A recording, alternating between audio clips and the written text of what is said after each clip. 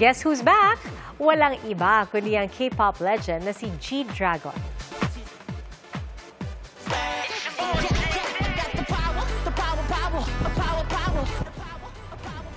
GD really got the power sa kanyang solo comeback matapos ang pitong taon. Agad itong nag-trend online, habang ang music video nito may halos 4 million views na, limang oras lang mula nang i-release.